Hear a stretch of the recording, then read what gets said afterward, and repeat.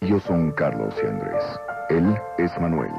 Ellas son Paola y Andrea. Todos tienen algo en común. Cada vez que tú compras música robada, ellos pierden sueños, empleos y la oportunidad de escuchar y ver artistas nuevos.